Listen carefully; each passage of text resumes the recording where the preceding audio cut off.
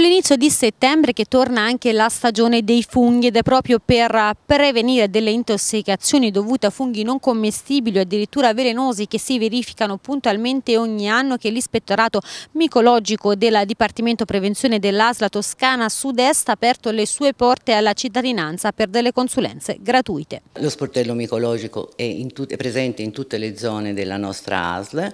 e eh, ha degli orari prestabiliti e nei giorni prestabiliti i cittadini possono rivolgersi ai micologi che sono presenti e che eh, grazie a loro insomma, eviteranno poi di avere problemi eh, a livello di salute. Ogni anno nella provincia di Arezzo sono alcune decine le intossicazioni che si riscontrano a causa di funghi non commestibili, sono invece in media circa 500 le persone che si rivolgono ai micologi dell'azienda sanitaria per sottoporre ai loro occhi esperti funghi raccolti, professionisti in grado di determinarne la commestibilità oppure la tossicità. Anche nel territorio aretino infatti non è difficile imbattersi in varietà di funghi velenosi. Solamente l'esperto può dire questo è un fungo commestibile, un fungo buono, questo invece no, appartiene alla specie tossica e quindi viene eh, addirittura gettato al momento in cui ce lo portano in visione ma anche in caso di funghi commestibili sono necessarie comunque altre piccole accortezze per non rincorrere così spiacevoli sorprese. Intanto una buona conservazione, non devono essere congelate alcune specie di funghi soprattutto. Altra cosa importante è che anche i funghi commestibili, se mangiati in quantità eccessive, possono creare disturbi,